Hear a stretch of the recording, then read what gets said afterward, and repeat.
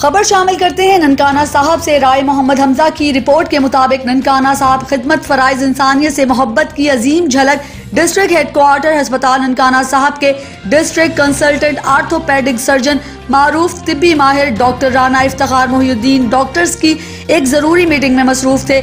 इन्हें बताया गया कि एम एस ऑफ़िस के बाहर दूर दराज से आए हुए काफ़ी मरीज़ आपको चेक कराने के लिए आपके इंतज़ार में खड़े हैं। तो डॉक्टर इफ्तार मोहुद्दीन ने फौरी तौर पर मीटिंग से बाहर आकर एमएस ऑफ़िस के बाहर ही खड़े होकर मरीजों को चेक करना शुरू कर दिया। परेशान हाल मरीजों के लवाहकिन खुशी से निहाल हो गए।